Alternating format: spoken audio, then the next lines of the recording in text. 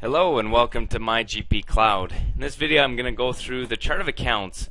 We're going to look at posting type, adding accounts, going through the mass modify tool, and we'll look at the account format uh, as a whole as well. I'm going to click on the financial homepage and as I look under cards financial account this will pull up the area that has your account maintenance window which is where you enter in your accounts.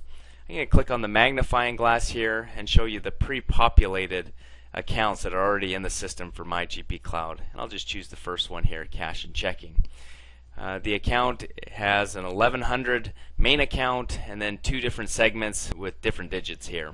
The description is a required field, listed that in there. A category, which shows you all the different categories that you could select for this uh, type of an account and the posting type and typical balance. Those are the required fields in this window.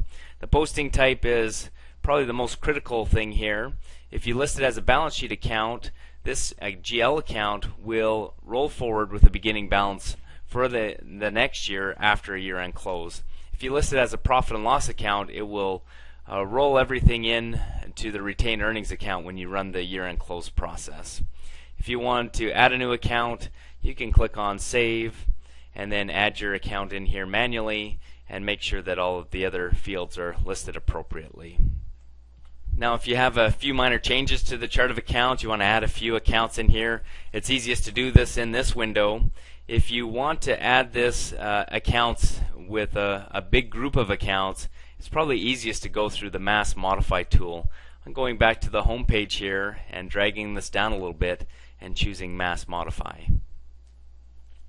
So if I choose the copy function here and I want to copy all of, let's say, revenue accounts 4000, 000, and I'm going to copy all my 4000 accounts, which is my revenue accounts, and I'm going to hit selected range here. It will choose all of my 4000 accounts, and let's say I wanted to add a segment of 001. I leave the question marks in there on the other fields on the account mask and I put in that 001 and if I hit modify it will add a whole set of accounts to that so you don't have to add those in individually. Another thing you can do with the mass modify tool, let's say you wanted to start from scratch instead of using our predefined chart of accounts, you can hit delete and if you hit modify it's going to delete all of those accounts out and you can start from scratch. Now, if you start from scratch, just be aware that you're going to have to rewrite the financial reports in Management Reporter. That would be your profit and loss uh, report and your balance sheet report. If you're using the predefined chart of accounts that we have in the system already, we already have those uh, financial reports developed for you.